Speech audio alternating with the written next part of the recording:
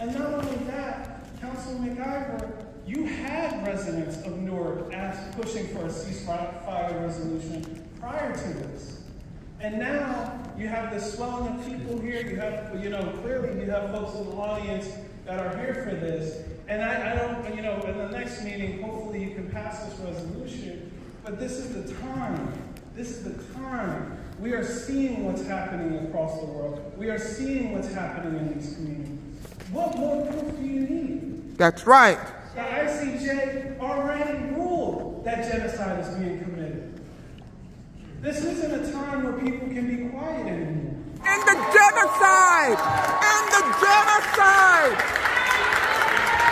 And the genocide! communities uh, to defend our civil rights and champion justice. Uh, today, we're with a very diverse uh, coalition uh, comprised of Newark residents uh, and neighbors and friends, That's right. all for a ceasefire. Ceasefire now! Ceasefire now!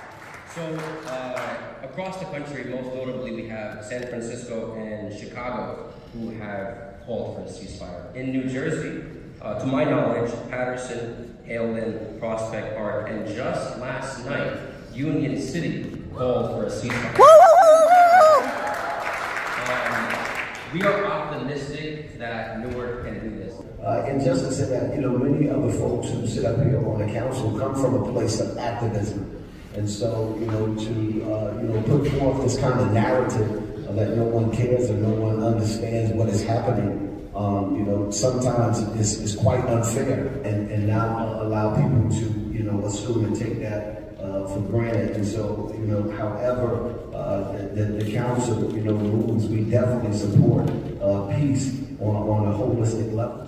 uh, call for ceasefire and for peace, uh, not just for um, Gaza and Israel. There is so much going on all over the world, but the escalation or the rise, I should say, as the mayor stated on October 16, of violence and humanitarian treatment that has gone on is just horrific. So we have individuals that on all sides we're connected to, but we sure do not stand for the inhuman treatment. And the mayor stated in his role on October 16 that we urge all those who love peace and justice to oppose attacks on innocent civilians. When they say we don't care, as Councilman Council stated, we really care. There's some things that we can't just get on a plane and do. As a matter of fact, when we were trying to select various things, the faith-based community, to send to assist and aid, it was blocked.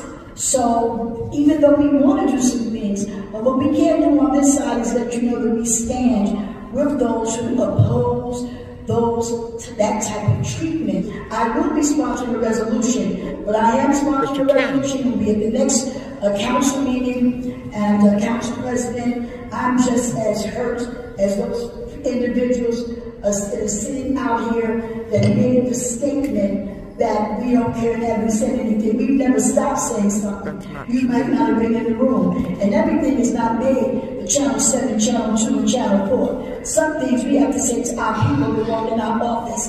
The emails that we get, we have to address them. Let you know we received it. Let you know we saw it. So that that's the first thing, uh, Council President. But some things have to be public and loud. Excuse me, do not call out, please. So as we move forward, as I stated earlier, there will be a resolution in the next meeting uh, regarding this.